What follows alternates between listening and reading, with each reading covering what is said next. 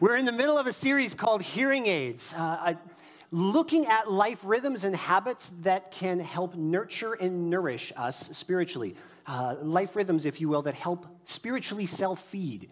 But they also position and posture us more receptively so that we can both hear and respond to the voice of God in our lives. And so, week number one, we talked a bit about the importance of God's written word that the Holy Spirit speaks to us through the written Word of God, which reveals, we would say, not just the story of God, but also the heart and the character of our Father.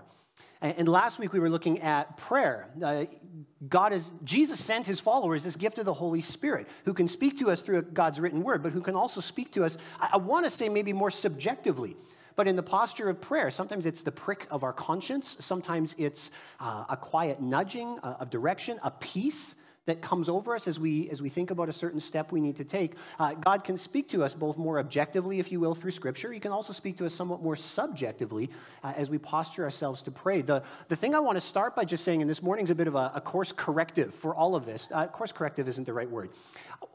Bear with me; it'll make sense. I hope.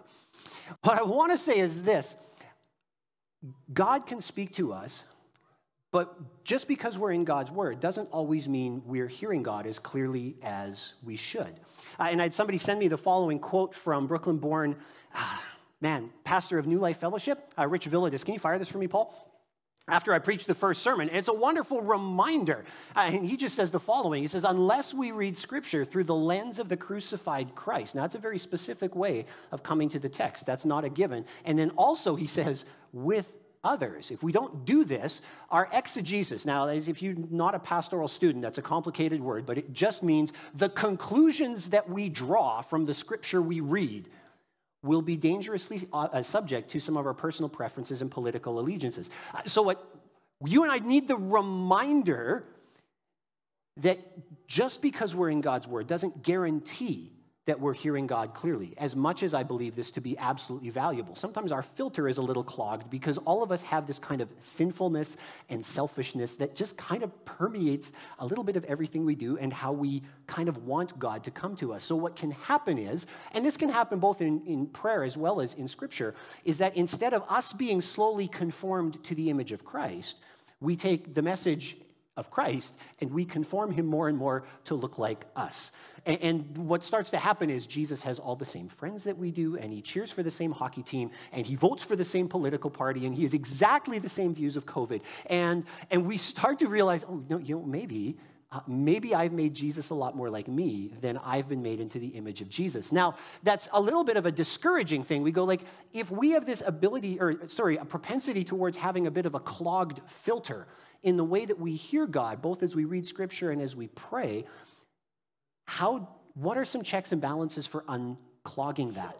Uh, and as a way of just setting the table for why I think, not a course correction, but a, it, it's worth a, a, conversation this morning. I don't know if you've ever bumped into somebody who uses the following expression, and it is one of the most intriguing and terrifying statements all at the same time. And you will occasionally bump into people and they will tell you, God told me, and they'll drop whatever in front of you. Now, it's intriguing because through his spirit, God speaks through his word and God speaks through prayer. This might be entirely true. And we actually need to nod our heads and go, this is absolutely possible. And we need to, to listen up to what they might be saying. Right? But God told me, thunk, makes a massive assumption, and that is that our filter is so clean that we are hearing it exactly right. I had a friend in high school who was convinced that God told him he was supposed to marry a certain girl. Unfortunately, God never also made this clear to her. And so he had to settle to be happily married to somebody else later on in life. But I want to introduce you to 1 John chapter 4. Uh, last week we were in the Gospel of John. Uh, speaking of the importance, through prayer in particular, of staying connected to the vine, to the source of life, to Jesus Christ. Uh, in that same section of verses, John describes the gift of the Holy Spirit. He describes him as the Spirit of truth, the one who will guide us into all truth.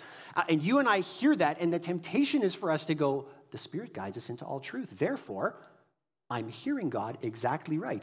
But what we discover in, uh, and I'm just jumping to one of John's letters, but First John chapter 4, same author, by the way, he's writing a letter to some churches in Asia Minor, and he says the following here Dear friends, do not believe every spirit, but test the spirits to see if they are from God. Because, and here I'm paraphrasing, not everybody who says God told me is actually right. Now, we tend to assume that when somebody uses an expression like that, God told me, that they're being intentionally deceitful. But that's, that might not be the case. They might genuinely believe this is the voice of God, but it might be a partial voice of God. Uh, and this is what a clogged filter can kind of do to us. So God speaks to us through his word, and God speaks to us through prayer. What I, can't remember where I first heard this analogy, but this morning I just want to be really practical. And I'll credit Henry Blackaby, who's a Saskatchewan based pastor. He goes back a little bit, but for those of you who've ever bumped into like his book or workbook, Hearing God, really practical read on how you and I can hear and respond to God. Uh, the analogy is this when it comes to hearing the voice of God, you and I would do really well to look for uh, at least a three legged stool before trusting our weight to it. Does that make sense? Now, I don't know whether your balance is substantially better than mine, but trusting my weight to a one legged stool is not something I'm very excited about. This is, this is a recipe for things going really badly, really quickly, okay? However, I don't know about you, I don't want to really trust my life to a two legged stool either. I can't fall in any direction, but I don't want to try sitting on a two legged stool at the top of a staircase, for example. Because there are still several ways that this could end really badly. And the suggestion was just when it comes to the voice of God in our lives, we would do really well to have some checks and balances.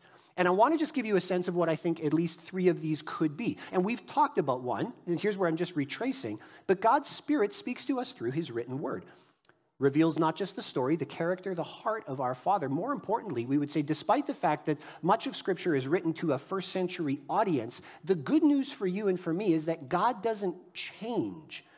And so the essence of his story can still be applied to our lives in a very different culture and context. And so, one of the great first legs that we can test with is you know, if if what God told me or what I feel God saying to me or what somebody tells me God is telling them to is not lining up with what is revealed of God in Scripture, that we're, we're like, ah, no, I'm bumping into issues here that this seems wrong with, we've already got one check and balance that we'd say, no, um, that doesn't sound right.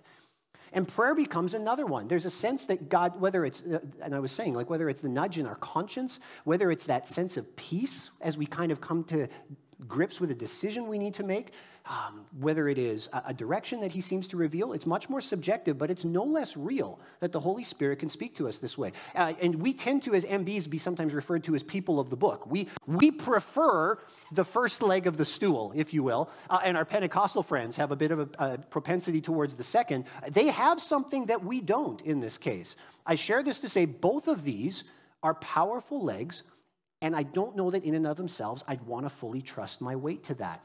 And so this morning, I want to just, this is a third leg. It's not the only one, but it is one of the ones that I think you and I should consider. And if you get nothing else from this morning, the big idea this morning is this God speaks to us through the faith community. I, I, we have this tendency, I think it's because our culture is so individualistic. We tend to take this and we go, God speaks to me. And I pray, and God speaks to me. And it's so good and it's so true, but we tend to forget if God speaks to me, He also speaks to you, and to you, and to you, and to you, which means as we interact with each other, the possibility is that we hear from the Holy Spirit as we engage with other Jesus followers and it becomes a wonderful corrective step. Back to 1 john chapter 4 uh, test the spirits. These opening six verses of 1 john chapter 4 the pronoun you is plural in greek throughout all of it. So again j- just to give you a sense this is how we read our bible. I should test the spirits. Actually that's not what he's saying. He said the, the role of testing the spirits is for all of you all of you together are to weigh and see if this actually feels like the voice of God that's speaking. Hearing God's voice and discerning it is the job of the gathered faith community.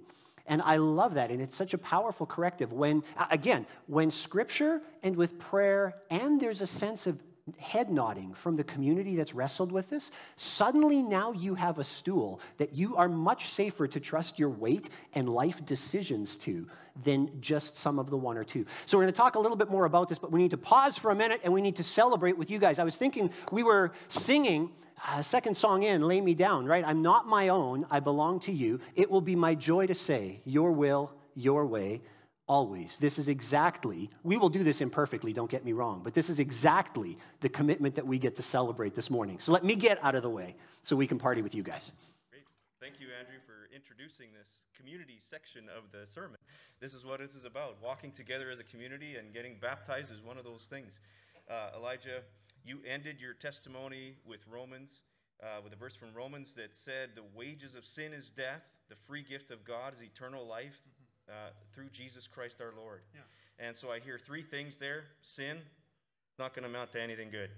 Second is this is a free gift. Salvation is a free gift. And it's only through Jesus Christ our Lord. Do you believe that? Yeah. Do you have Jesus Christ as the, uh, do you declare Jesus Christ as the, your Lord and Savior? Yes. Do you trust Him with your future, the rest of your days? Yes. This is good because Jesus likes to walk with you no matter what's going on, whatever mess is going on, He loves to walk with us for every one of our days. So, uh, you can put your hand there. That's right, sorry. Right on. It's all right. It's all good. Uh, because of what you've declared, because of what you said here today, mm-hmm. Elijah, I baptize you in the name of the Father, the Son, the Holy Spirit. Amen. Gotcha. Yeah, yeah.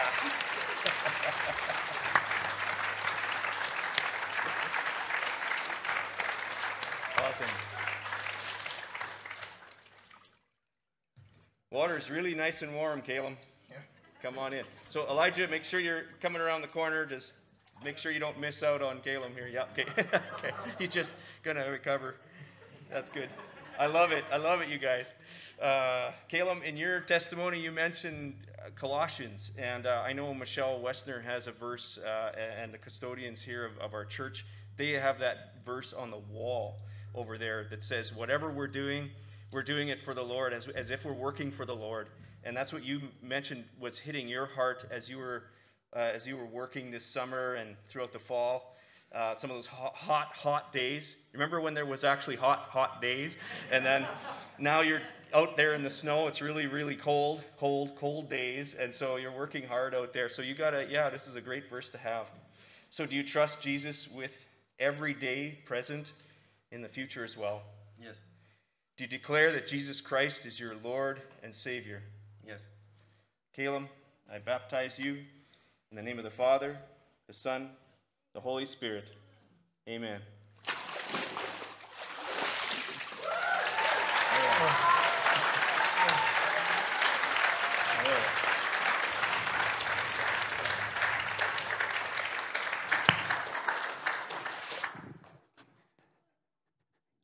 I don't mind being interrupted for a party like that. That's good stuff. Speaking of the role of community in hearing God's voice, and we've intentionally said at the outset, this is kind of, we live in a low calorie society, and we just said this is a, a, a calorie light version of teaching. Uh, so I'm glancing over passages because I want to spend time making this more practical than, than otherwise. And we'll get back to, to chewing hard into Scripture because we love to do that here. But I want to reference three passages in the book of Acts. Acts is the story of the kind of how the Jesus movement gets off the ground. We sometimes refer to this as the story of the early church. And I want to just reference three, I would almost call them watershed moments in the church. These are significant moments that the church has to wrestle to decide how are we going to respond or move.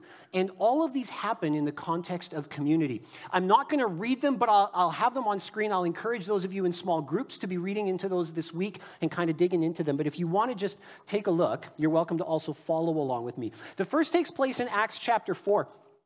In Acts chapter 4, the church has to respond to its first external threat, and that is persecution. Peter and John have just been arrested. The Jewish kind of religious authorities have made it very clear and in no uncertain terms they are to stop talking publicly about Jesus.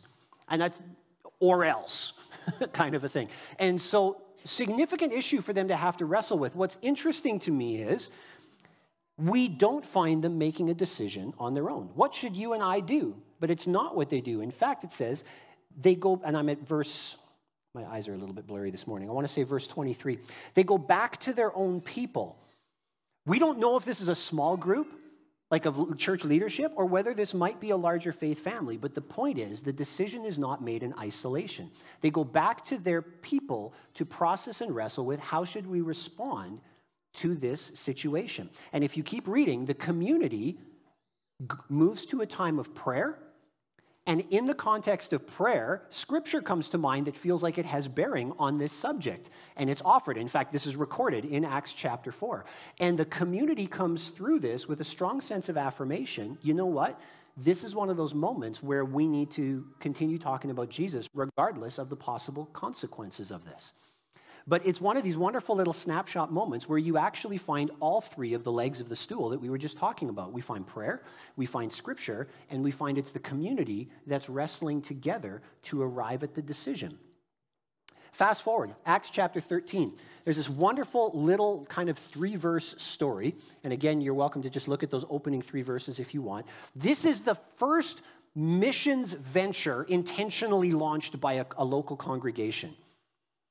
And what we're told is, in the context of worship and fasting, God's voice is heard in the community. We're not told how. It's one of those wonderful questions I would love to ask.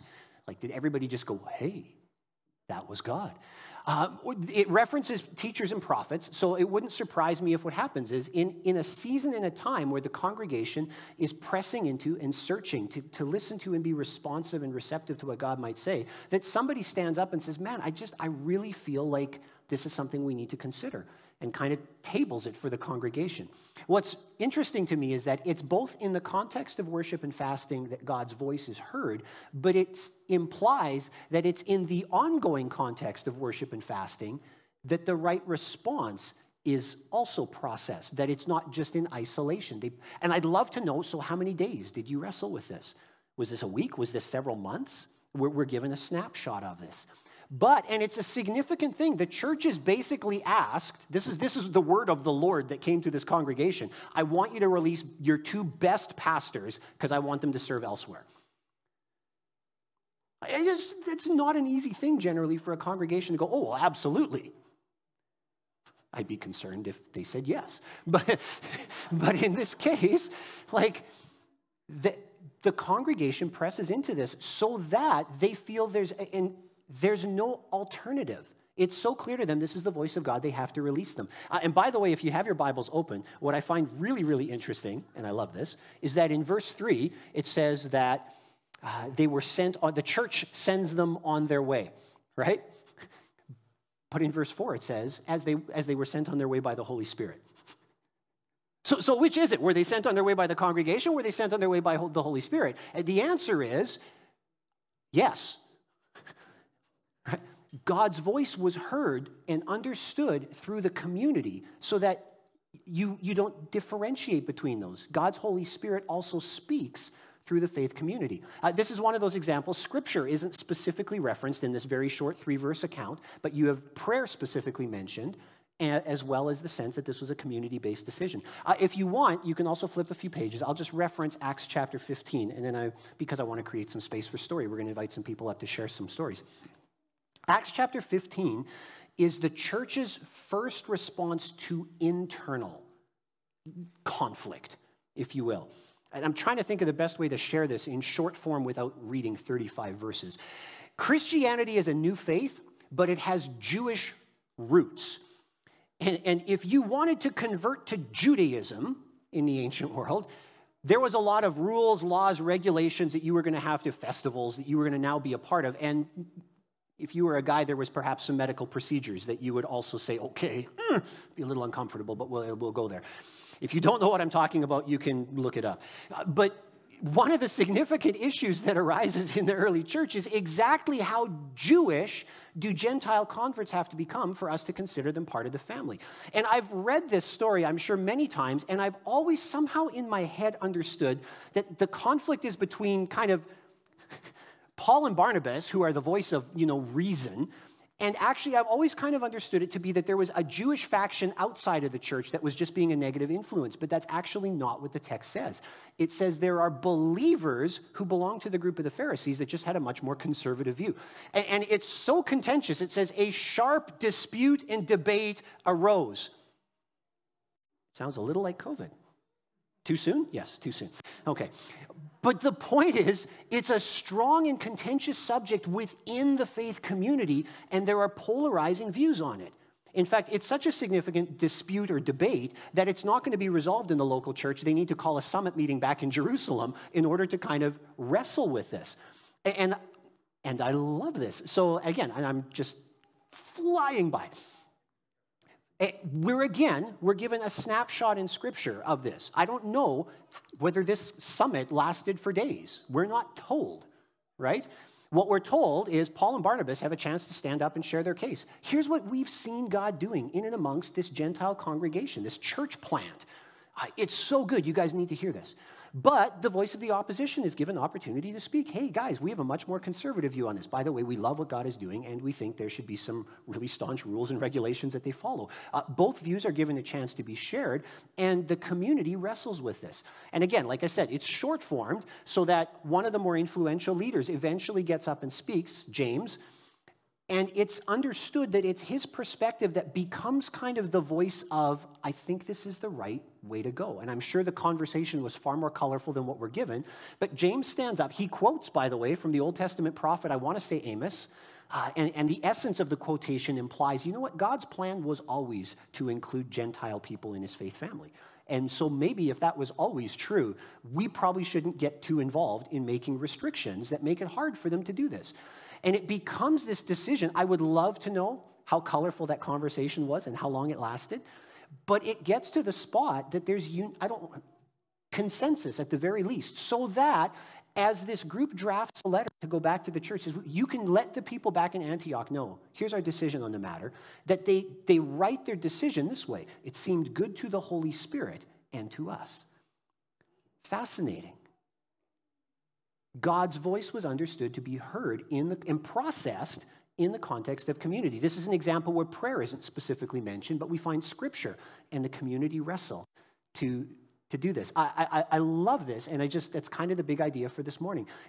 God speaks through the faith community, and if you want a three legged stool to process things on, it is much more solid with several legs and I'll do some application, but I want to invite a couple, a few couples to join me. Richard and Hazel, Dwayne and Irma, come hang out with me for a little bit up here on stage. I would love to give you the opportunity to perhaps share a story or two of some of your experience with hearing God's voice in the context of community. Now, yeah, come make yourselves at home. Um, I'll give you mics. Dwayne and Irma, as well as Richard and Hazel, are perhaps a little bit unique in that both of them have experienced as pastoral couples, which, let's move this out of the way. Hearing God's voice in community, by the way, does not have to be something that's restricted to pastors in any kind of a way, shape, or form. When other people, and it can be a small group of friends, speak into your life, this is no less the voice of God if, if there's a sense of discernment and agreement that comes from it. But you folks will have some unique experience. So actually, I don't know if you're sharing very personally or much more corporately, but I wanted to just begin, uh, and it doesn't matter to me who wants to start off here, but do you have a story of a time that you can recall really kind of where the voice of God was heard, whether it was personally like of other people speaking into your life and situation or family, or a time where collectively or corporately, as a faith family, as a church that you were a part of, you remember a time that you would point back to and say, you know what, we heard the Holy Spirit through this moment. Uh, Richard and Hazel, I'll maybe start with you. But do you, do you have a story that you might be willing to share on this subject?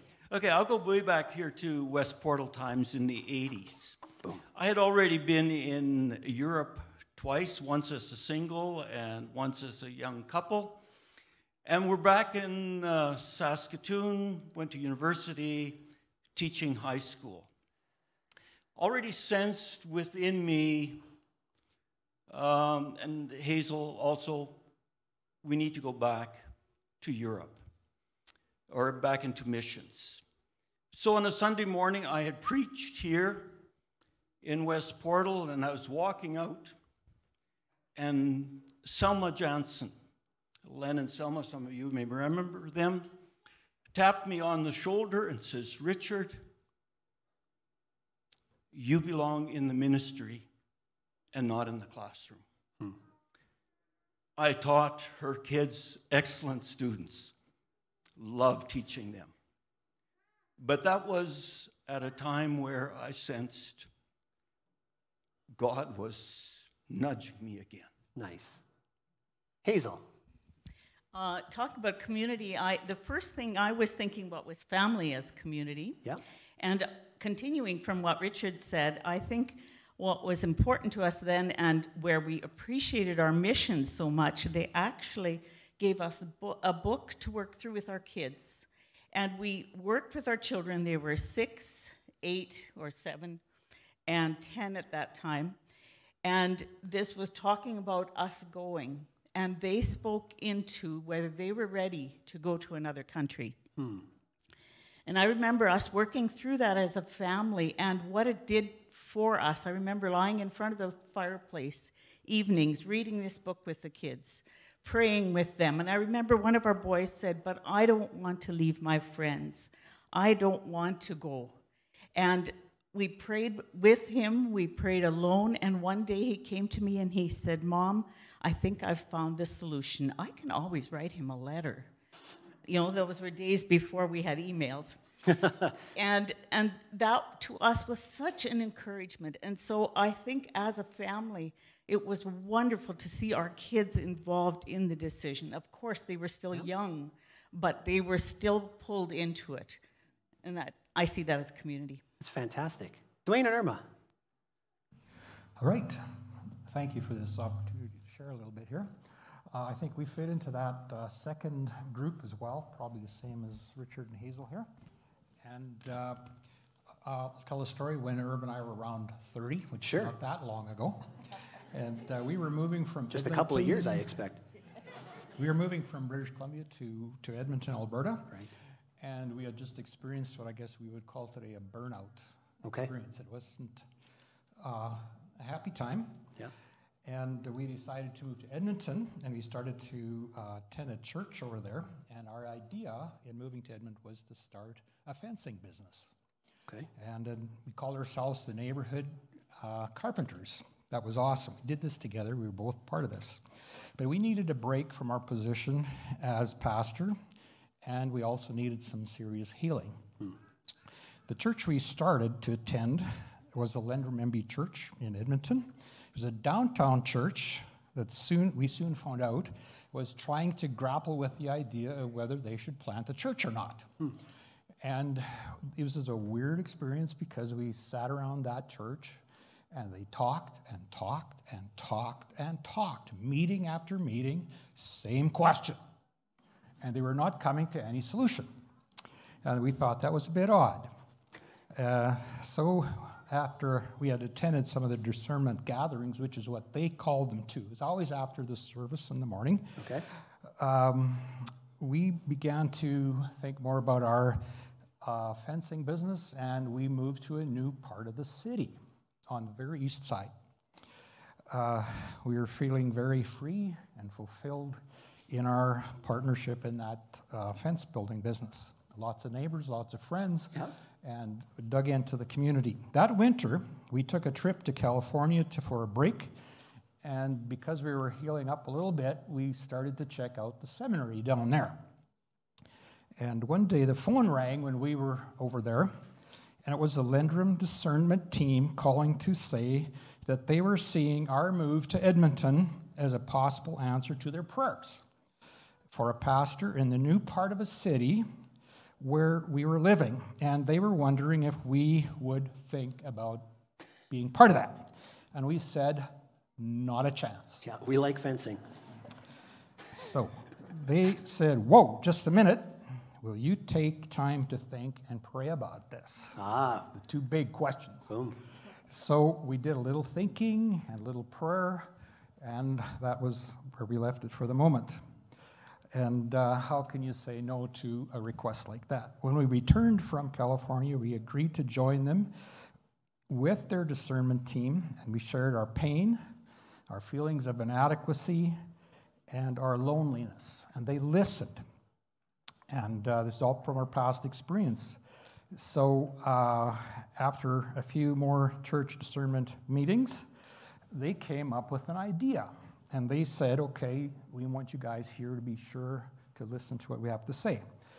Uh, what would happen if you guys would be bivocational and our present pastor would be bivocational, and the two of you uh, could become partners, and this present pastor, who is quite a bit older than you, could be your mentor and your coach for possibly up to five years. Huh. And we said, Whoa, this is really something. Really? And uh, that would be more than we could ask or even dream for. Uh, that's what we did, and our, possession, our passion and love for church planting really took hold during those five years. Ten years later, uh, we went back to the seminary where that first phone call came from, and uh, we began the discernment process with the team over there where we should find ourselves in the next era of ministry, which turned out to be in West Portal. Go figure. So it was a very awesome experience. That's a long, what's great about that is it's a long, slow process of discernment. We often think that God's voice should be like a quick right angle in the way that we hear. Like it should be an obvious, well, then do this, and this is how we should respond. But in this case, was a slow discernment, uh, small steps that continue to, to show that God's hand was in it, and sometimes that confirmation would come along for the ride. Irma, do you have something to add? We'll go to the next question. Sure. I wanted to ask, what are, what's one hurdle that we maybe need to think about overcoming in order to engage more or listen to, to hear God's voice in community. And I think there are hurdles and obstacles for this. Um, actually, I think one of the things that happens is we often jump to our own plans too quickly. Uh, we just go ahead with what we decided to do. Right. Our fencing business was doing very well. Dwayne was paying me really big bucks, and it was wonderful. also, I think one other thing is we don't trust the Holy Spirit to line up people and events. Uh, that the Holy Spirit actually lines these things up, and sometimes we don't think of that and we don't trust it. I think mm. that's one thing, or two things, two sure. obstacles or hurdles. Yeah. Richard and Hazel, from your opinion, what's one or two hurdles you think we need to overcome oh, to hear God's voice better? There's lots of hurdles, and they're about as diverse as there are people. I think everybody's got one. Um, what I've seen in ministry, what I've seen is personal pride, ego gets in the way. Nobody else is going to tell me what to do. Likewise, there's timidity, there's shyness, not willing to share one's vision with others, um, not wanting to be vulnerable, a distrust of others, uh, them speaking and that's not being known, not being able to trust. Hmm. Hazel, anything Richard, to add? Richard said it. Boom. Mm-hmm. Last question. Last question. What is one word of encouragement or a practical tip that you might offer someone thinking of growing or taking intentional steps towards man? I want to I want to hear God's voice in the context of community. The, fir- the first thing that came to my mind is learning to listen to each other hmm. and asking good questions. I think those are one of the main things of uh, learning to listen to what the other person is really saying and not just to say what you think right away, sure. but listening to them from your heart. Okay. Richard, anything to add? Yeah, perhaps out of my own story, I would say practice sincere uh, honest shoulder tapping. Uh, don't just begin with community, stay with community. Hmm. Um, because even though we may get started on a track, it's not always going to be easy, and we need each other. Yeah. Dwayne. Pretty simple. Listen till the room gets quiet. this was the most fascinating experience for us. Lendrum is a very, uh, I don't know if it still is, but quite academic. Lots of university professors, et cetera, in that church. And uh, they were talking and talking and talking and talking and talking. And, And all at once at one meeting, everything just got quiet. And it was like nobody had anything more to say. And it, there was a consensus. And so learn to, to uh, listen until the room gets quiet Yeah. Is how we put it. And I think another word of encouragement is be honest with your own struggles and your own inadequacies. And I think you've mentioned that too, Richard and Hazel, where so often I think we want to just put on this good front. Um, and, and there may be nothing wrong with that, but I think there's the community is to be a place of transparency. And I think that that's a word of encouragement for us. If, you're, if you've got a big decision to make, be honest. I'm, I'm scared, I don't feel adequate, etc. So, uh, yeah, learn to be honest. Yeah. Thank you for being a part of this. Can, as a congregation, can we say thank you to them for, for sharing from your stories, from your experience? I'll take the mic. I'm grateful for that. We learn often from the experience of others, every, well, more so than you probably learn from teaching. When the room gets quiet, I assume usually I've said something out of place. So, which you know happens way too frequently.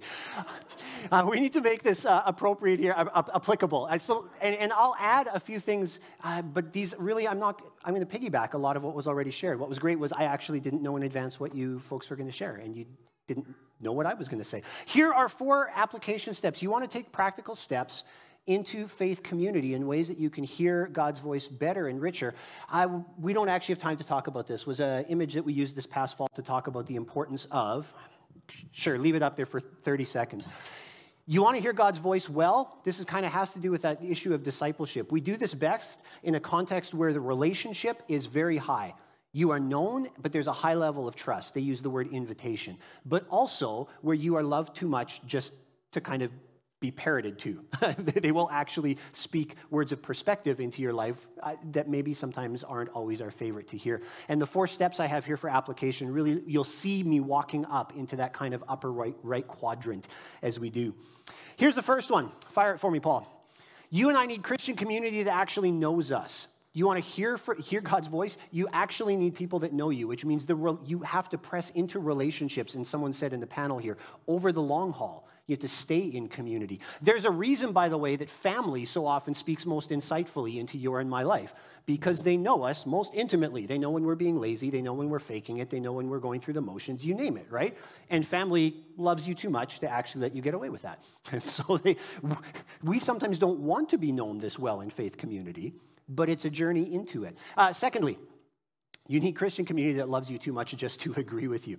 We have a tendency to surround, sorry, one of the things I want to suggest, uh, Jeff was talking about it in announcements, there is a reason why we love to encourage people as, an, as a practical next step after you've been kind of part of our large church gathering for a while. We will encourage you to consider taking steps to be part of a small group or small church.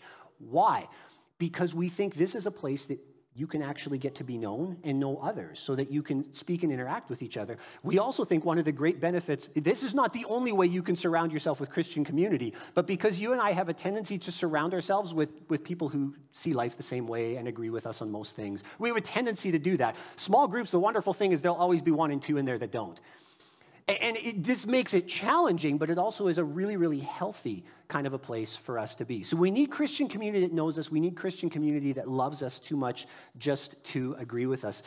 If I could start making things like really practical, we live in a culture that's very hesitant to speak any kind of course correction words into somebody's life. Like we just the world we live in is if people really love and accept you as you are, you should never have to change. And so as Christians, we're also very hesitant to really I don't know if that's right. We, it's a really hesitant kind of a thing we want to offer into people's lives. Sometimes you and I will actually just need to ask for it. In fact, I brief rabbit trail, and I can't give details for this story, but I've been at West Portal for over 20 years. There are moments I would love to go back and relive because I feel like I didn't listen to God's voice well. And, and, relationships were damaged and people were hurt because of decisions I made or actions I did. I don't know about you. We often think that the, the voice of the Holy Spirit is really clear yes and no's. You want to know what the voice of the Holy Spirit more often than not has been in my life that I didn't listen to was, uh, you know, just before you do that, you should get a second and a third opinion. And the times I didn't press into that are some of the times I regret the most. Sometimes you and I just need the humility to ask for honest perspective and to really hear it. And if you really want to take a threatening step, you can also jump into the fourth one here. You and I really benefit from listening to people who disagree with us. Do you really want to wrestle to remove any blinders or, or, open up your perspective? It might not change your mind, but to really process something well, it'd be a little like Acts 15. Guess what? We heard from both sides on this, and they were both sides. They were not, you know, happy with each other. Ask the perspective and engage in conversation with people who disagree with you. Now, in fairness, in order to do this well, that trust and relationship component really has to be high. You have to feel a safety with the people that you're doing this with. I feel like in a small way, we had a chance, we as a staff team this past Tuesday morning, we had a really hard conversation and we were not going to walk out of the room unanimous. There was no way to do it. And it was emotionally laden, it was a hard one, and it needed to happen. And I was so grateful for the chance to have that conversation in a context of six people that know that we have each other's backs, know we love each other, and won't necessarily always see eye to eye on something, and that we have to find a way forward with this. So, four ideas, I don't know, like practically speaking, but when you find yourself wrestling with a life situation or how to respond to, you know, your children or, or new chapters in life or opportunities that are opening or job changes that you're considering, these are wonderful opportunities not just to be in scripture and not just to be in prayer, but to consider pressing into the voice of those around you, Christian community that can speak into your life that helps us process and gives us a much more stable foundation on which to sit. Let's pray. Jesus, thank you so much for your great love, for the gift of your presence, and perhaps maybe most of all, we are so grateful and thank you, thankful that your Holy Spirit delights to speak into our hearts and lives. Thank you for the gift of Scripture that reveals your heart and your character that points us in the direction of what's right and corrects us when we're wrong. Thank you for the gift of prayer, that there's this, this affirmation, this quiet sense of peace and direction that your Holy Spirit can nudge into our hearts and lives. Give us the discipline, the perseverance to press into your word, to press into those moments of creating space, not just to speak to you, but to hear from you in and through prayer. And thank you for the gift of faith family. I had someone say to me once the only problem with the church is that it's made up of people. So, thank you for the gift of faith family uh, and for people that aren't just like us and that see life differently and have different gifts given to you for our benefit and for a blessing that, yeah, give us the grace to walk richly in relationship with each other, to risk being vulnerable uh, in these places and to really open our ears in pockets and, and uh, where we need to hear. And not just what we want to hear, but to hear and to process well. Continue um, to give us unity as, as a faith family. May your spirit be alive and active and present in your church. And we pray that certainly for West Portal, but we pray that for struggling faith families ac- across our our city and our province and our country and the world today, uh, not just because of COVID, but because of persecution and different things. The church is your outpost in this world. Give us the grace and the humility, the tenacity, the courage to be found faithful and effective to your calling in our lives. So we pray all of this in Jesus' name. Amen.